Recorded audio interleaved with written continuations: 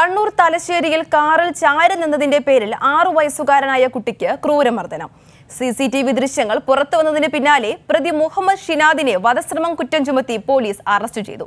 തലശ്ശേരിയിൽ ബലൂൺ വിറ്റു ജീവിക്കുന്ന രാജസ്ഥാനി കുടുംബത്തിലെ പിഞ്ചു ബാലനാണ് ചവിട്ടിത്തെറിപ്പിച്ചത്.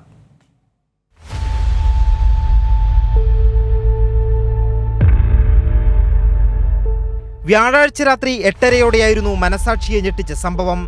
ആറു വയസ്സുകാരനായ കുട്ടിയെ കാറിൽ ചാരി നിന്നതിന്റെ പേരിൽ യുവാവ് ചവിട്ടിത്തെറിപ്പിക്കുകയായിരുന്നു തലശ്ശേരി പൊന്യംപാലം സ്വദേശിയായ മുഹമ്മദ് ഷിനാദാണ് കുട്ടിയെ മർദ്ദിച്ചത് നടുവിന് പരിക്കേറ്റ കുട്ടി തലശ്ശേരി ജനറൽ ആശുപത്രിയിൽ ചികിത്സയിലാണ് രാത്രി തന്നെ പോലീസ് എത്തിയിരുന്നുവെന്നും പോലീസാണ് കുട്ടിയെ ആശുപത്രിയിലാക്കിയതെന്നും രക്ഷിതാക്കൾ പറഞ്ഞു हमको पब्लिक ने बताया फिर जाकर देखा तो ये बेटा बेटा रो रहा था हमारा लड़का गणेश वो थोड़ा पेशाब करने के लिए बोला था हमारे को लड़के ने पेशाब करने गया हम बैलून देख रहे थे और और पब्लिक ने हमको बोला कि तुम्हारे लड़के को लात मार के भाग गया कार वाला गाड़ी वाला कार वाला बैठा था लड़का कार वो वाला ने मारा है मारा। इसका नीचे उतर के മർദ്ദനമേറ്റ കുട്ടിയുടെ അമ്മയുടെ പരാതിയിൽ കേസെടുത്ത പോലീസ് പ്രതിയെ അറസ്റ്റ് ചെയ്തു വധശ്രമം ഉൾപ്പെടെയുള്ള വകുപ്പുകൾ ചുമത്തിയാണ് കേസെടുത്തത് പോലീസിന് വീഴ്ച പറ്റിയിട്ടില്ലെന്നും കാലതാമസമില്ലാതെയാണ് പ്രതിയെ അറസ്റ്റ് ചെയ്തതെന്നും A C P Nitin Raj പറഞ്ഞു. സി ടി വി വിഷ്വൽസ് പരിശോധിച്ചു. C C T V visuals പരിശോധിച്ച ശേഷം കൃത്യമായിട്ട്